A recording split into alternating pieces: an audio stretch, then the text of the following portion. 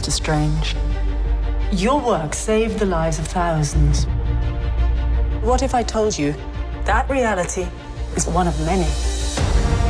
Strange is incredibly arrogant, brilliant, sort of extraordinary, and his need to control fate, to control destiny, and in particular death, has brought him to the height of his profession as a neurosurgeon. He has a car crash and he loses the use of his hands, and he spends all his money having operations to have his hands put back together, and they don't work. He has quite a journey as his life starts to fall apart. He spends his last pennies on a ticket and goes to Nepal.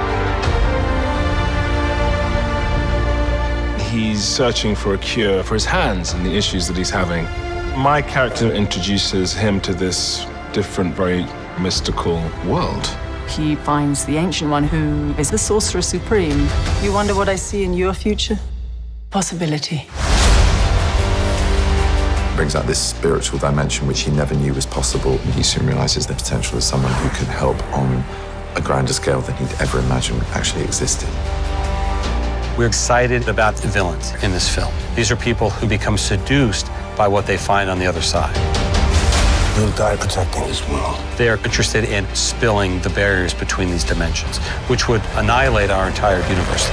I can't do this.